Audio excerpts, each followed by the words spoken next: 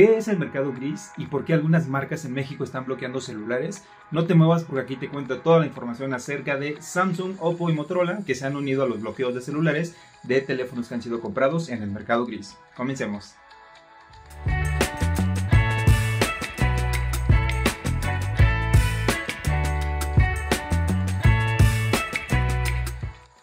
¿Qué tal amigos? ¿Cómo están? Mi nombre es Oscar Bae, bienvenidos a este nuevo video en mi canal de YouTube. El día de hoy vamos a hablar eh, sobre tecnología, pero precisamente sobre un tema que recientemente se está convirtiendo, eh, eh, que está causando mucho ruido sobre este, estas acciones que están tomando algunas empresas como Motorola, Oppo, Samsung, en donde están publicando comunicados y están empezando a bloquear ya incluso esos celulares que fueron comprados en el mercado gris Así es que si tú tienes dudas, si tienes alguna de estas marcas y estás pensando, eh, investigando si van a ser bloqueados o no en el territorio mexicano, no te muevas porque en este video te vamos a, te voy a explicar completamente de qué se trata el mercado gris y por qué es que las marcas están tomando eh, acciones en su contra para poder detener este tipo de comercio. Y obviamente antes de comenzar quiero invitarte a que te suscribas a mi canal de YouTube. Si es la primera vez eh, que, llegas a un video mío, por favor te pido que te quedes, que dejes eh, tu me gusta, de tus comentarios, que lo compartas para que más gente esté enterada sobre este contenido. Y pues nada, si tú ya eres un suscriptor eh, habitual, muchísimas gracias por continuar aquí conmigo. Y pues ahora sí comencemos con este tema del el mercado gris y el bloqueo de celulares en México. ¿Qué es el mercado gris y por qué recientemente ha estado causando bastante ruido este tipo de, eh, mercado? Es básicamente la comercialización de diferentes productos eh, tecnológicos, llámese celulares, tablets, relojes inteligentes, computadoras, laptops, eh, tecnología en general, que básicamente son comprados en otros países como China, como la India, cualquier otro país, y que obviamente en aquel de aquel lado del mundo están mucho más baratos debido a diferentes impuestos, debido a diferentes eh, eh, reglamentaciones. Entonces, estos equipos se supone, y es lo que ahorita están tratando de aclarar con toda esta controversia, se supone que estos equipos no cuentan con las certificaciones para poder ser distribuidos de manera oficial aquí en México, así como tampoco, por ejemplo, en el caso de los celulares, no están adaptados correctamente para el uso de las diferentes antenas, las diferentes compañías telefónicas que están funcionando en el territorio mexicano. Y básicamente esto vendría siendo el mercado gris que, bueno, ya hemos escuchado bastante, así es que yo quería hacerte este video para comentarte acerca de este tipo de, eh, contenido. Y para ser más eh, concretos, vamos a, te voy a mostrar algunos ejemplos, por ejemplo, del el mercado gris, podemos encontrar eh, tiendas online como Doto, como Telmob, como AliExpress, obviamente, incluso el Mercado Libre, Amazon también podría incluir este tipo de, de mercado gris. Y es básicamente estos distribuidores que están vendiendo eh, teléfonos de marcas, en este caso como Samsung, Oppo y Motorola, que obviamente los precios no están eh, a la par de los eh, productos oficiales en las páginas oficiales de estas marcas, porque por ejemplo ahí en, no sé, en la página de Samsung podemos encontrar el Galaxy S23 Ultra en veintitantos mil, treinta y tantos mil pesos, y si lo buscamos en Doto, si lo buscamos en, en y otro tipo de opciones, vamos a poder encontrarlo incluso hasta menos de 20 mil pesos, podemos encontrarlo en 15 mil, 13 mil pesos. Y justamente, obviamente, el usuario lo que está buscando es como tener un buen equipo, pero si se puede ahorrar unos pesos, pues sería mucho, eh, muchísimo mejor. Así es que justamente es lo que está ocurriendo con muchas personas que prefieren pagar incluso hasta la mitad del precio por ese mismo equipo, pero que desafortunadamente ese eh, dispositivo no está regulado ante lo que se pide eh, aquí en México para poder ser comercializado, para poder utilizar las diferentes redes de manera oficial, de manera correcta. Así es que esto vendría siendo el mercado gris y justamente ya que ahora ha causado tanto ruido, páginas ya como, bueno, tiendas online como Doto ya ha publicado que se cuenta con una garantía naranja en la que vas a poder, en caso de que tu equipo de alguna de estas tres marcas que estamos comentando haya sido bloqueado, vas a poder eh, desbloquearlo con esta garantía en naranja por hasta dos años.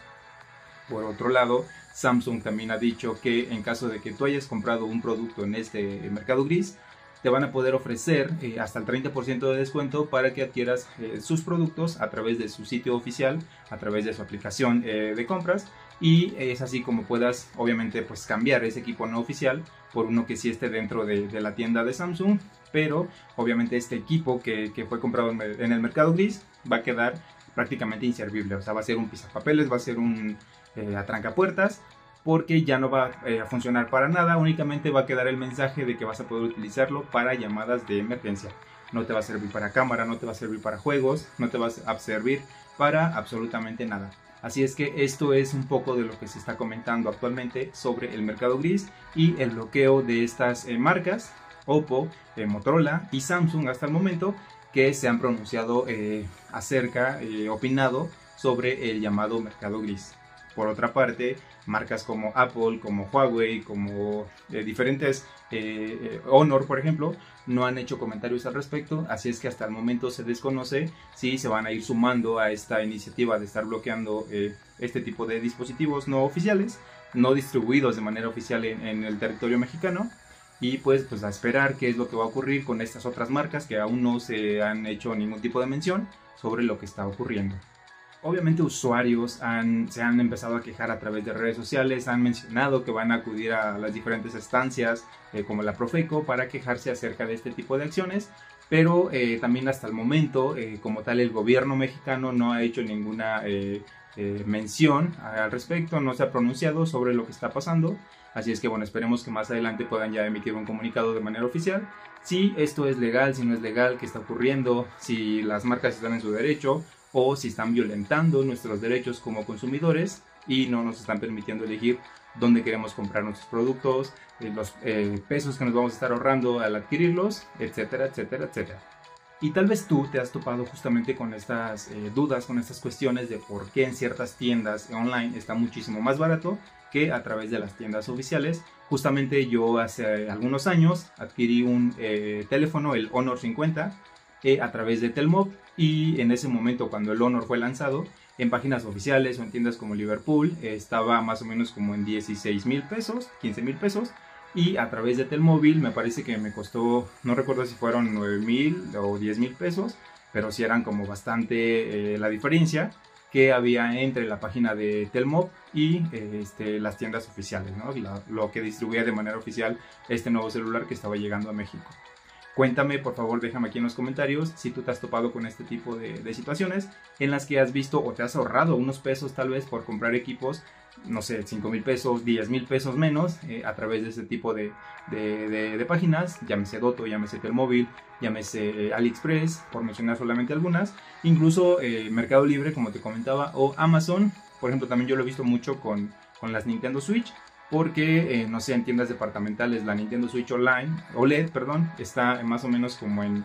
9 mil, 10 mil pesos y a través de estos eh, portales lo hemos podido encontrar hasta en 5 mil, 6 mil pesos e incluso menos, 4 mil y algo. Así es que no sé si también obviamente Nintendo vaya a hacer algo al respecto por la distribución de estos productos, que obviamente pues hablan de que son productos chinos, son productos japoneses, son productos que vienen importados de otro país y que eh, incluso a veces los eh, conectores que van hacia la luz tienen obviamente diferentes entradas y hay que utilizar adaptadores para poder eh, manejarlos, para poder utilizarlos. Otra cosa que también se ha mencionado es que al gobierno tampoco le conviene este tipo de, mercado gris, el llamado mercado gris, porque obviamente este mercado no está dejándole impuestos, no le está dando dinero al gobierno, lo que sí están haciendo las marcas, pues obviamente a través de pasar este eh, tipo de diferentes regulaciones, pruebas, eh, permisos, todo lo que tenga que ver y una forma muy sencilla de poder eh, verificar, así como de manera muy general, si tu equipo está reglamentado de manera oficial aquí en México, es que busques en la etiqueta de la caja o incluso dentro de ella que traiga las iniciales NOM, NOM, que habla justamente de las normativas oficiales mexicanas Así es que esa sería una primera prueba para que puedas tú verificar si es o no oficial el equipo que adquiriste. Como te comento, hasta el momento únicamente son las marcas Oppo, Motorola y Samsung pues es toda la información que tenemos hasta el momento. Espero que haya sido de gran ayuda, espero que te haya servido y si es así, por favor, demuéstralo con un hermoso me gusta. Te invito una vez más a que te suscribas a mi canal de YouTube para más contenido relacionado. Vamos a estar, voy a estar en constante eh, movimiento investigando acerca de este tema sobre la nueva información que vaya surgiendo y te la voy a estar compartiendo aquí en mi canal. Eh, gracias por ver este video, te mando un abrazo muy fuerte. Yo soy Oscar Bae y nos vemos en el siguiente video. Hasta la próxima.